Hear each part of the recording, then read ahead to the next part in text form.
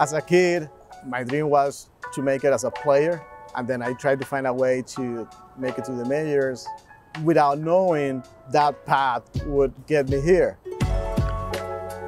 Soy Billy Russo, el manager de comunicaciones en español de los White Sox y el intérprete del equipo.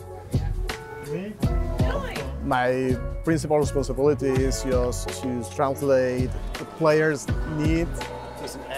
I also do broadcast the games in Spanish, radio. Son los guardianes de Cleveland. Desde pequeño mi interés fue en, en, en deporte en general, especialmente en el béisbol. Mis papás, una gran influencia en eso porque los dos son fanáticos de, del béisbol y pues el béisbol es el deporte principal en Venezuela. Diría que fue como alrededor de los 4 o 5 años que mis papás me inscribieron en una escuela de béisbol en Caracas, Venezuela. Y a partir de ahí comencé a jugar béisbol hasta que tuve 17, 18 años. Y ahí pues sabía que no, que no había chance de ser eh, jugador profesional y entonces pues eh, me dediqué a, a, una carrera a comunicación social, a periodista, que me podía mantener ligado al, al deporte. Cuando yo vine aquí a, a, Estados Unidos, especialmente a Chicago, en el 2008, ya yo, estaba, ya yo era periodista y trabajaba en un periódico en Venezuela cubriendo béisbol. Mientras estudiaba inglés aquí en Chicago, también tenía la oportunidad de venir a los juegos de los White Sox o de los Cubs para cubrir a los jugadores latinos, jugadores venezolanos. That was how it all started.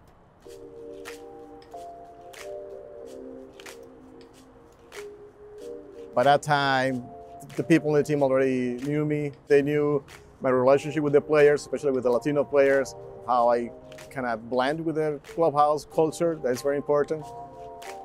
It was an easy choice for my side. Billy, oh, oh, that's already. me. Yeah. that was my muscle. When I'm here in Chicago, the first thing that I do is just checking on the guys. If they need anything, is everything okay with them? If we have interviews, just remind them, hey, remember that we have this interview at this time. Then I'm just help the process of the interview with translations. That's it. Back to the office. Came back, starting to get ready for the game. I wrote down the lineups. Uh, I'm gonna start looking for some stats after that, probably gonna eat something in the clubhouse. And then around 6.45, gonna be up to the broadcast booth and 7.10 is a play ball.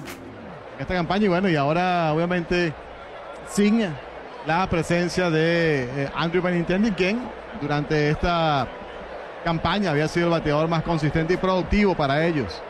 I'm the color analyst, commenting uh, every play, you know, if there's anything that I need to add to why a specific play happened or what happened in that play. My parents listen to my broadcast every night. If I do something wrong, they, they're the first one to let me know. That's something, uh, a special connection to because they live in Venezuela. Being in the radio booth where they can listen to my description of the game, that's something that fill them with joy. Being able to do that and enjoy this and being here is, is special. Por una, su récord vuelve a 500, 51 victorias y 51 derrotas para el conjunto de los Medias Blancas de Chicago.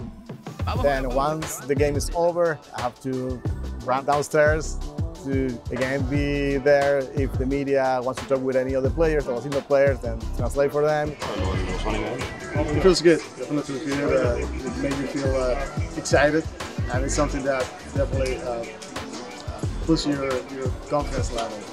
Para mí Billy, ¿sabes? No solamente es el traductor que, ¿sabes? Que nos, que nos traduce a nosotros los latinos cuando tenemos una entrevista, sino es una persona especial. Le tengo tremendo aprecio y tremendo respeto. I just like to be around the people here. I just like to, you know, sit here or sit in the dugout or in the booth, and look at the field, just look at the action. That was what I was doing when I was what, four years old, but I was doing it from the TV. You know, I have the chance to be here, to be inside. Every day is a new opportunity. Every day is a new chance to do something new and to experience what I love to do.